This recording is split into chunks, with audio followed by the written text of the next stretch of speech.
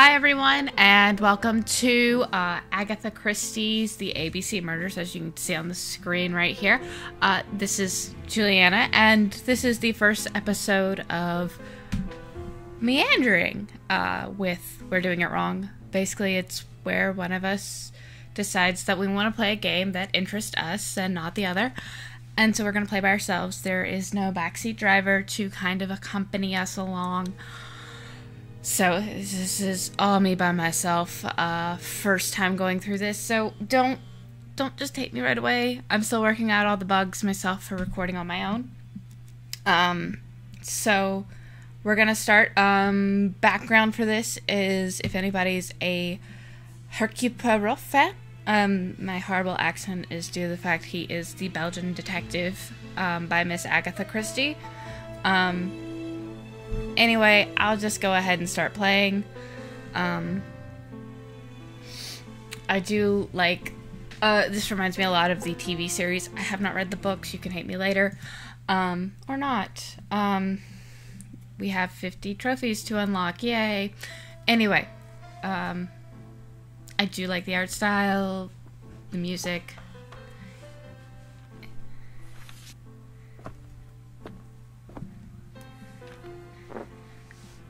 I do like the like uh, cartoon style that they're using. Mr. Hercule Poirot, you fancy yourself, don't you, at solving mysteries that are too difficult for our poor thick-head British police? Let us see, Mr. Clever Poirot, just how clever you can be. Perhaps you'll find this nut too hard to crack. Look out for Andover on the 21st of the month. Yours extra, A B C. Oh, it's some sort of joke. Maybe. But please remind me to inform Chief Inspector Japp.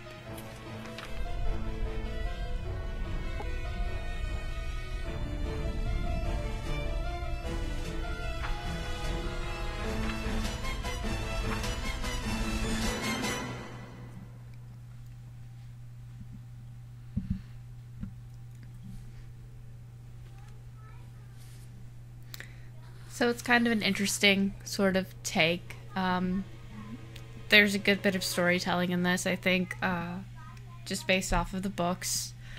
Um, yeah. Uh, I grew up watching Masterpiece Theater, now known as just Masterpiece. So, uh, it's it's sort of a love affair with that. And I apologize. People apparently like to call me.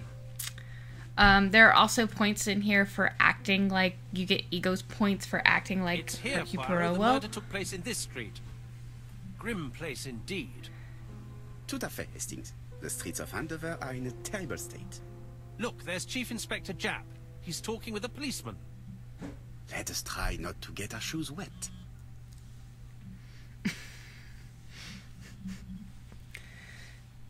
Uh, as you could tell, he takes much pride in his appearance, and you'll see me try and get extra little uh, points from that. Um, this is just a point and click. It's like Don't most detective things will that you'll ever see. Um,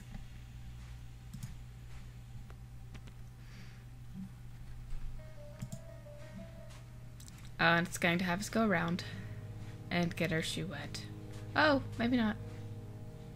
Over here. Oh, it's it's my Hastings shoe. and Poirot. You missed the nine o'clock train? We took the half past ten.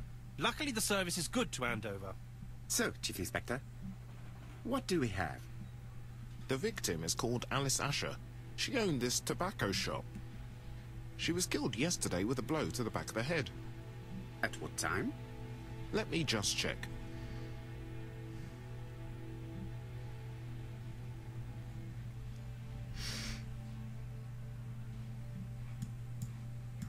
Okay, so this one's a little bit different in that uh, you do actually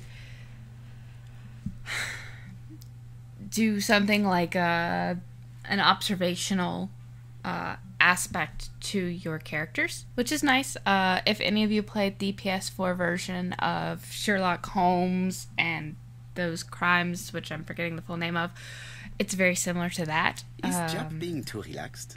Let us find the clues that prove it.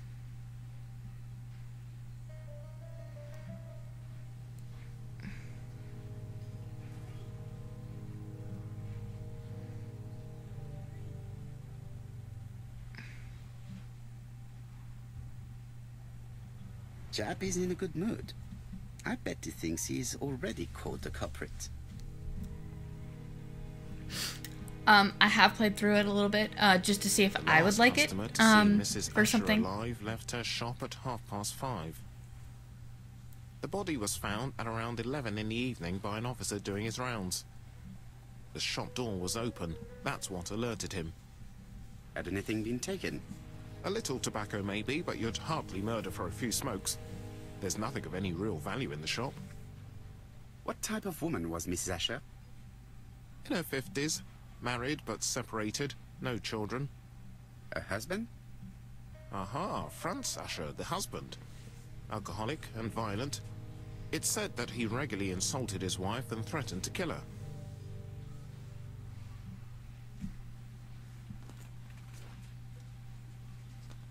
Um, Do you think he's guilty? We'll look for Franz Asher. If he doesn't have an alibi, the case is closed. A very unoriginal murder. Peut-être. May I examine the crime scene? Of course, old chap. I'll be with you in a minute, Poirot.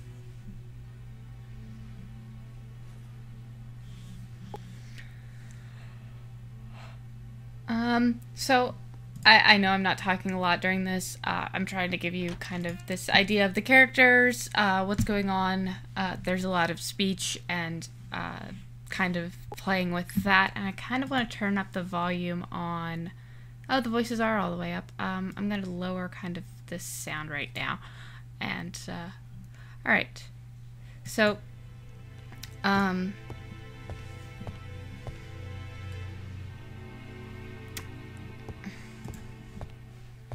There are cigarettes packets in a mess on the shelf.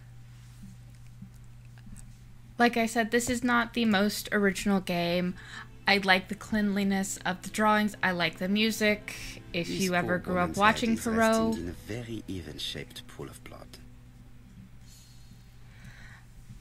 it, it's hmm, kind the of one of those. The body is hidden by the counter and is not visible from the tobacco shop store. Many customers might have thought that Mrs. Asher had popped out. She has a packet of play cigarette next to her hand. Did she drop it when she fell? Hmm. The body is hidden by the counter and is not visible from the tobacco shop store. Many customers might have thought that Mrs. Asher had popped out. One of the things that I've noticed about this game that I'm not particularly the biggest fan of is the other mark on um, the floor. sort of the way the clicking is very very sensitive. Um, She just has one wound on the back of the head. There are no other wounds or signs of a struggle. and each of them has a relatively big um, area. So if there's anything remotely near it that could be used um, as a clue, uh, it it's gonna be used that way. Uh, so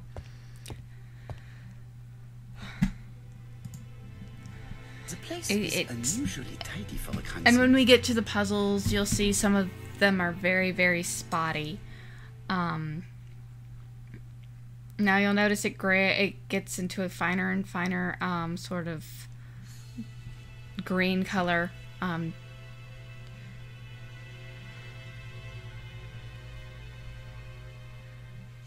um, Nothing suggests any sign of a fight.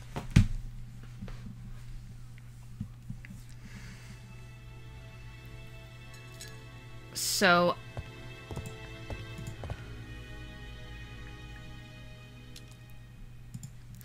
now for the fun part we now have a clue um so there's information uh so Uh, here you are making uh, Poirot's little gray cells work. Uh, the aim is to answer the question he asked himself by establishing the links between the clues in order to deduce an answer. Uh, slide the clues on the empty box to fill in the holes, or to fill the holes. Okay, so was Miss ha- uh, Asherfield uh, killed on site? Um, there's a pool of blood near her head. Yes. Um, and there are no other marks on the floor. So she wasn't dragged away. She's killed on site. Mrs. Asher was killed Um, here. The absence of marks in the shop and the regular shape of the blood stains indicated beyond a doubt.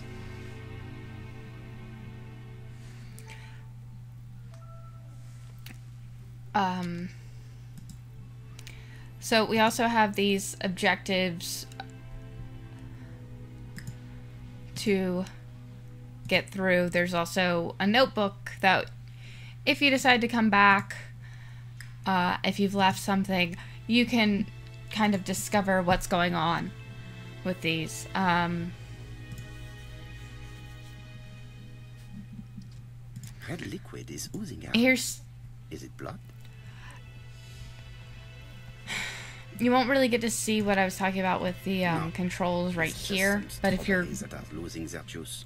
zoomed in on something, from the fruit you can't necessarily turn it. opposite.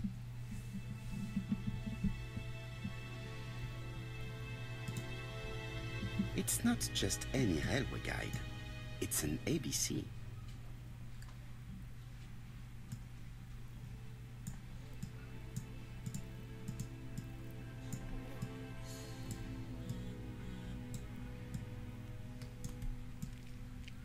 You also have to be very, very uh, particular in the way that you turn things It's so that at the um, letter A. There are no prints on the book. So that Hercule Poirot will make his findings. Um,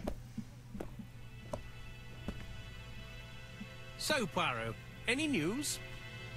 So, an ABC guide with no fingerprints but prints all over the counter. Normally, the tobacco shop does not sell ABC guides. Exact. Mon ami, could you have a word with the neighbors? Some may have seen something. Of course, my friend, I'll do it straight away.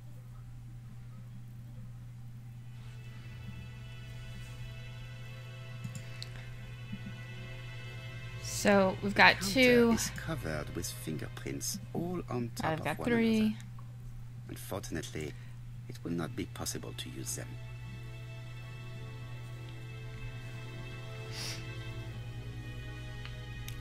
Yay. Um, we now have new questions available. Um, I'm just going to try and get them as quickly as I can. Um,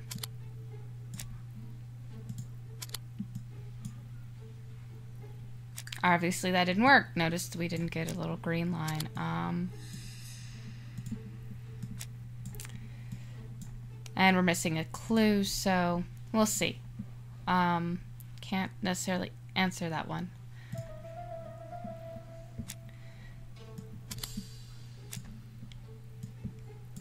So there's actually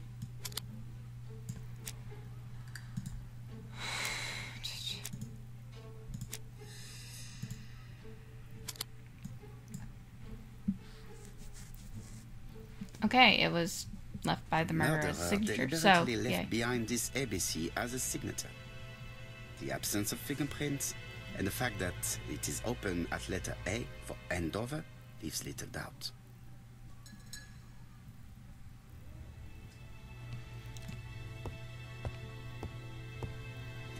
The door is locked.